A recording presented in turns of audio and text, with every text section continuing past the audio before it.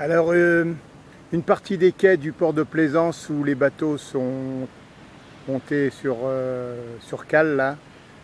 Et alors donc, notre grand Sedna 4 euh, bateau québécois. Et là à côté, il y a un bateau qui est tombé sous le cyclone et qui n'a pas été bougé depuis. Donc il est là de biais. le port de Plaisance continue derrière là-bas.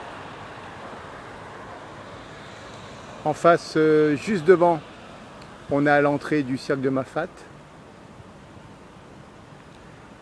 Et là, le chenal euh, pour sortir du, port, euh, du port de Plaisance.